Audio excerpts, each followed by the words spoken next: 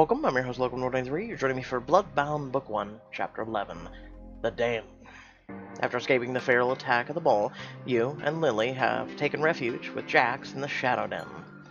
Following a warm welcome, you, Jax, and Lily all meet up in the central square of the underground village. Oh good, you're back. I hope you weren't waiting long. Did you get fed?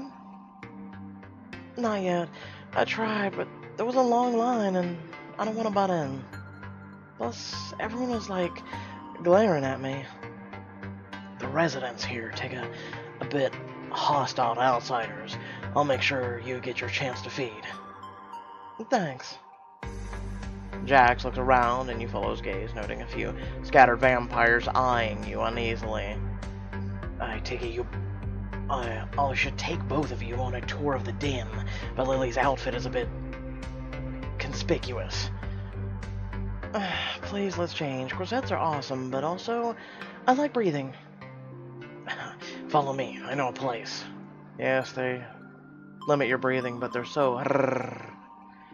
He leads you down an alleyway off the main part of the den. You round a corner and see an older woman sitting on a stool, sewing, a pipe dangling between her lips. Elena, I hope I'm not interrupting something important. Of course not. Always happy to see you, Jax.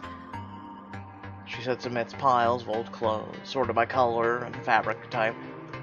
These two are my friends. As you can tell, they're in some need of some more appropriate clothes. I'm a fraction of a second away from running around in my underwear. I... Can we watch? Do you have something they could wear? Elena shrugs and gestures to a few racks of clothes behind her. Go on, take your pick. Lily grabs an outfit and ducks around a corner. She comes back a few minutes later wearing a new outfit and grinning. Well, not bad. Damn. You won't have any problems fitting in. That outfit looks like it was made for you. I know, right? It's kind of weird to say, but you guys really seem like my kind of people. What about you, Amy? You pick up one outfit that looks just right. Oh! Oh. Um, what? Sorry, distracted. What? Um... Wow. Mother and Lace, the perfect mix of feminine and fierce. You are so wrong. And so right at the same time. No thanks. I'm... It's not really me. I think I'll stick with my current look. The stairs and all. Nothing's wrong with the t-shirt, even though it's a little oversized. Up to you. Elena clears her throat. I'm glad you like the clothes, but we have a saying in the Shadow Den. It goes, pay me. Oh, um, we don't have any money on us. Elena squints at the fancy dress Lily took off. She rubs the fabric of the skirt between her fingers. This is some material. I wouldn't be adverse to a trade. Lily, you okay with that? Like, I'm gonna have another occasion to wear that. My social season isn't exactly packed with debutante balls. She pushes the mass of tulle, lace, and brocade in her arms. It's all yours, and thank you, Elena. Seriously. My pleasure. Okay, you two. Let's go. You wave goodbye to Elena as Jax leads you deeper into the narrow side alley. You soon see you're headed towards a massive vault blocked off by four hulking guards. Through the gate between them, you see the glitter of gold. Uh, what's that? That's the repository. Repository my ass. I know a treasure vault when I see one. Are there, like, goblins we should be worried about? Or, or like a, a droll British dragon? Uh, nothing that exciting. Uh, Prohibition era bootleggers stash their loot down here. And what? These are their gold bricks? Somehow I find that hard to believe. Jax gestures to the guards who step aside, letting you in. Your jaw drops open as you take it all in. You see a mountain upon mountains of gold bars, stacks of cash, paintings, books, a huge blood red diamond. I know how this looks. I touched the gem the day of cave collapses, and we all have to escape on a magic carpet. No, that's just the lamp we were going for. Oh, wait. No, Abu did take a diamond. It wasn't blood red, but yeah. Seriously, what's up with this place? Let me explain something about the economy of the Shadow Den. It's not exactly easy to make money when you have to abandon your life, when you can't go above the surface without risking death. Not a lot of job opportunities for the clanless, especially not with the clans running most of the city's industries. Makes sense. Most people still want to live. We need money for supplies, weapons, money to buy safe houses, and money to find clanless in harm's way. So we run a little business of our own, the repossession business. You're talking about smuggling. What? No. This look like a dock to you. The... Never mind. I just thought... I think the Jax meant was that they're thieves, and some pretty high-end ones from the looks of it. We only take from the clans. I figure that's fair. They're the reason we have to live here in the first place. They might as well pay for the cost. And the clans are all rich as hell. I guess that's true. I bet they don't even notice when it goes missing. What about the Baron? Doesn't he run crime? The Baron and I have an arrangement. Oh. That's interesting because the Baron wants to wipe you the fuck out. Wow, really?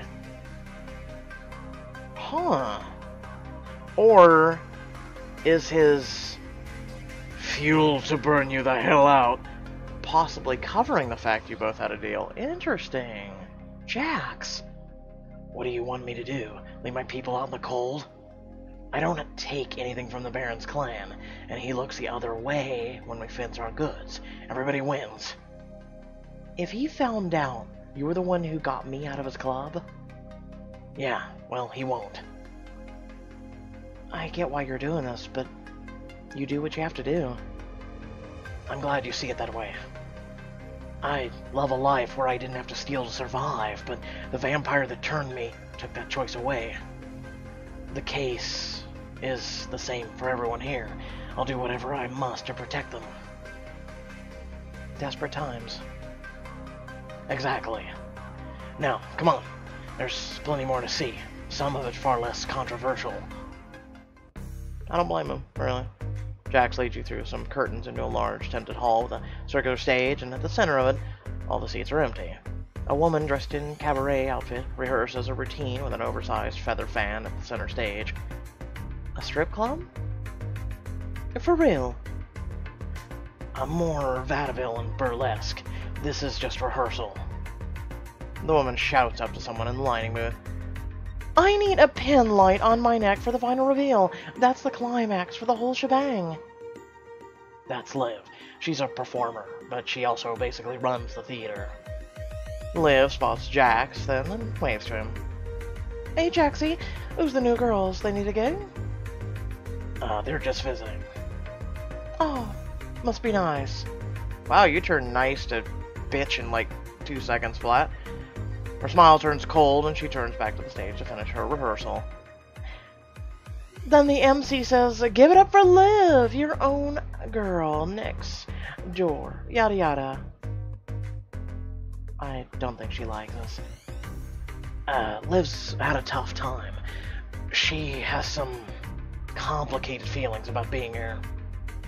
How do you mean? She was pretty popular performer as Immortal, a leading force in the burlesque revival a few years ago. Oh, right, yeah. I was wondering why she looked so familiar. You went to her show? Don't look so shocked. Burlesque is classy, Amy. Get with the program. Yeah. Classy. I'm just staring at the screen right now. Just, okay. I don't know what classy means to folks anymore. She was turned before her act could really get off the ground. She had a stalker, a vampire, in one of the clans. He ambushed her after a show one night, tried to kidnap her, she fought back, so he turned her and left her to become a feral. Oh my god. That's awful. I took her in, helped her get through it. He looks towards the stage and sighs. But she doesn't want to be here. She's not a rebel or a fighter. What does she want? The one thing she can't have. Her life back. But who turned her? Did you ever find him? I did, but he's one of Priya's clan, one of her closest confidants. If I killed him, she wouldn't rest until I was dead. Justice has to wait for another day, as usual. Anyway, rehearsal's almost over. Jax leads you to, to talk to Liv as she gets off stage. Liv, this is Amy and Lily. Nice to meet you. Are you gonna act nice now or cold like a... A real brother? She nods politely. Hello. I hope we can see your act sometime. It looks great. Well, thank you. It keeps me going, and I wouldn't be doing it without my Jaxie. She gives Jax a big hug, grinning from ear to ear. He was the one who got me back on my feet. Without him, I'd, well, I don't know. She smiles, but you can see the pain beneath it. I hope you um, know how important your work is. Your community really needs you. Her face softens as she gives you a genuine smile. Thank you, dear. I'm curious if your act has changed much since you've gotten down there. Burlesque is all about the tease. What you don't show. It used to be my body. Now it's a little further north. She runs a finger along her neck, slow and seductive. Whoa. Fridays and Saturdays, 2 and 4 a.m. Uh, we'll be back if we can. Thanks, Liv. As he leads you out of the club and down another side alley, you pass groups of residents huddled together in a semi-darkness. Pass a large wall plaster with photos of the Shadow Den residents. What's this? That's the Wall of the Fallen. All the clanless we've lost over the years, the ones who went feral, the ones the clan's gone. The three of you stop to look at the faces of the men and women of all ages, races, and genders, and children. Too many children. So many. You put an arm around her and she nuzzles into your shoulder, turning her face away. Jax, I know it's important to remember them, but it must be hard to pass by here all the time. It's a necessary path. It reminds me of why I'm doing this. It makes me fight harder every day to keep my keep new faces from appearing here. Jax. Hmm. This is a tough choice. I'll try to get the council's help. There has to be a way to stop all of this. Look, it's sweet to offer, but I'm gone down that road, and there's nothing but darkness and death. Too many of them hate our kind. Too many of them would love to just burn a place like this to the ground. It's not something I want to ha happen, but if it does, my people will be ready for it. The three of you keep walking back towards the main square of the Shadow Den. Up ahead, you can hear people shouting and clatter sticks and clangs of blades. Combat training. Whoa, sounds like a soundtrack to Braveheart minus the music part. We hold regular training sessions so that our residents are prepared. You see a group of people wielding wooden swords and practicing their strikes on combat dummies, just in case. In case of what? In case the Shadow Den is discovered, or one of us turns feral, or in case the Council decides it's time to purge us, once and for all. The combat class ends and the participants drift away from the square. One guy beelines towards Jax, a broad grin on his face. What's up, Jax? Griff, I'd like you to meet my friends Amy and Lily. Amy, Lily, Griff heads up weapons acquisition. He's one of our more outspoken members. Damn, how is it you just happen to be friends with every hot clanless girl? We're not actually hot, huh? Don't us underestimate yourself. No, we're not clanless. Oh, Now what are you doing here? They're friends of mine, allies of our cause. Lily's newly turned to the Raines clan, and Amy's not turned and works for Raines Corp.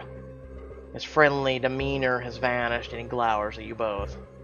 I see. Um, it's nice to meet you. Yeah. That what you're doing gonna tell your pretty boy boss. Excuse me? He can help you. Bull. I'm serious. He cares about the clanless. He can listen and help. He might well be your only hope. He can put in a word to the council, convince them to let you in. Once he knows how Jax helped us, once he knows what's it's really like for all of you, he... Screw him! Screw your council! Those decrepit jerks aren't gonna help us, and I won't take their help even if they offered. He rolls his wrist, his wooden sword twirling elegantly. This ain't just about saving our skins, it's about making them pay for everything they've done. Ease up, Griff. He glances at Lily, raising the wooden blade menacingly. Maybe we ought to start killing clan vampires, newly turned ones. Now that'll get their attention. Wait, what? Um, I prefer if we didn't do that. I said back off, Griff, I mean it. Griff glares at him and lowers the blade. Yeah, whatever. You're not the target anyway. No one should be the target. More conflict isn't going to solve anything. You can't go after the clans. Why the hell not? Hmm. Because there is a peaceful resolution. No, there isn't. The sooner you learn that, the better. Well, I'm still gonna try. If you had one thing you'd like to convey to the council members, what would it be? Why don't you tell them to enjoy their last days, because we're coming for them. Griff hurls his sword like a sphere, driving it straight into a target dummy's chest several yards away. See you around. He stalks off, leaving you, Jax, and Lily to ponder his words. So, he's decidedly not my fave. I apologize for Griff. That was unpleasant, even for him. I assure you it's not personal. There's a lot of resentment when it comes to the clans. The clanless see this place as their sanctuary. Having a clan vampire here makes them feel threatened. That's an understatement. I think we've had enough exploration. Lily, you're still hungry? Unbearably. Then let's get you fed. Jax leads you and Lily towards the center of the den, in an elegantly canopied tent.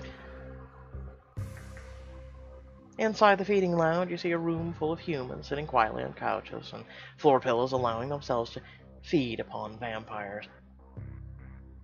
Who are all these people? Some are drifters. Some just looking for a place to stay. Others are volunteers, good Samaritans, folks sympathetic to our cause. You see Lily's eyes light up at the exposed necks, at the dripping blood. She licks her lips hungrily. Oh my god, I'm starving.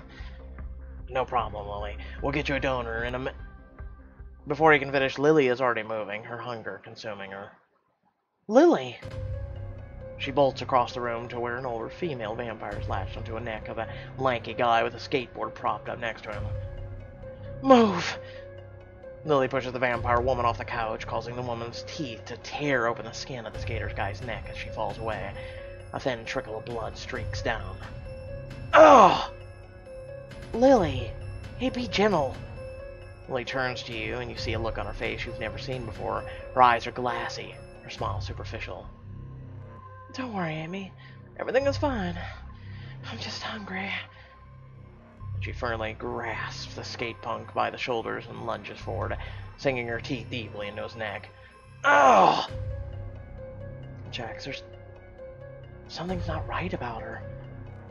The young man thrashes in Lily's grip as she drinks deeply, wildly, her eyes burning red. What's happening? Bloodlust. Lily's jaw almost seems to unhinge, allowing her fangs to sink deeper into the boy's neck. Help! Please! Enough! Jax lunges forward, grabbing Lily and tears her away from the skater. You're gonna kill him. Don't touch me!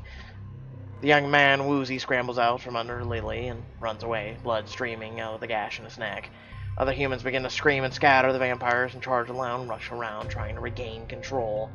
Snap out of it! Get out of my way!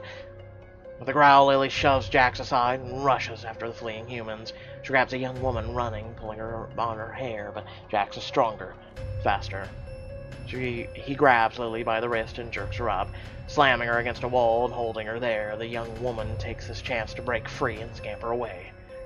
Get everyone out of here now! The vampires escort all the humans out as Lily thrashes and fights against Jax's grip. Get a hold of yourself! I need to feed. I need it. Jax. Don't let her go. I'm trying. She's incredibly strong. The adrenaline. Lily lunges forward, snapping at him, but Jax dodges, holding her in place. Calm down. Listen to my voice. Jax pulls her forward, wrapping his arms around her guiding her to the ground. No, no, leave me! Come on, calm down. Shh. I'm trying to remember what Scarlett Johansson said to the Hulk. The sun's setting, big guy. Okay. I was trying to remember from Deadpool 2, too. Because they use that joke. All around you, the room is empty. Silent still. As Jax holds Lily and whispers to her, she begins to relax. Slowly, her breath starts to slow, and the red seep from her eyes. I... I can't believe you did that. She'll be alright now. Jax sets Lily down on a couch, his arms still around her. She cradles her head on her hands and stares at the floor, breathing hard. Lily, are you okay? I, I don't know. She'll be fine. Bloodlust can be triggered if we get too hungry. It's especially easy for the younger victim vampires to succumb to it. Lily, look at me. You hold, uh, put a hand up on Lily's shoulder. She shrugs it off. Feels like my body is burning, my head's spinning. You're okay. We're here. Lily gets up and paces, drawing in a few deep breaths. You see her eyes slowly losing that glassy stare. Good, good. I just need... What if I do it? Lily perks up and Jax looks to you, expression torn, and leans in to speak to you quietly. It's risky. She might lose control again.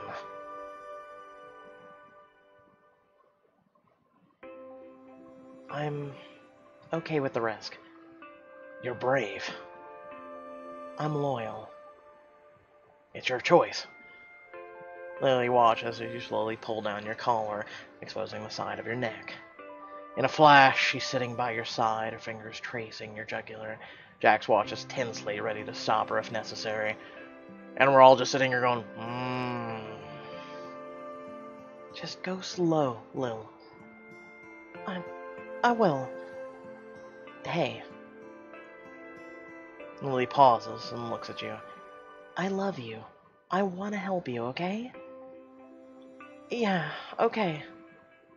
She gently puts her fangs on your neck and presses into your and into you until they break the skin. Ready? You nod. She pushes forward, a sharp pain flares through you, and then slowly melts into a dull ache, laced with warmth and connection. Hmm. Lily's head tilts just slightly, sending another jolt through your body. You reach down and take Lily's hand, squeezing it tight. Lil, that... I... Lily pulls away. A look of total bliss on her face, her tongue runs over her lips, caressing her fangs. Mm, that was something else. She slumps back down, hands running over her thighs. Glad you enjoyed yourself. Mm. I'm not saying anything. I am. We are all purely innocent, aren't we? You glance over and notice Jax sitting tense, staring at your neck. Oh, would you like a bite too? Oh, sorry, the blood. I, I didn't think you'd... Your voice catches as his eyes travel the length of your body, admiring your curves. He's looking at you for more than blood right now, honey.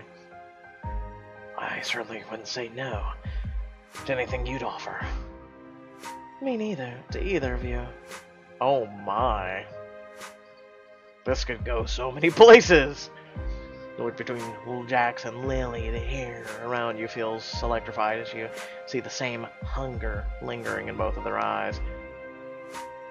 Oh, it does go that way. Oh,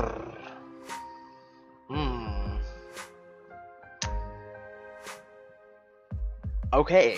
I need to work on a diamond edition.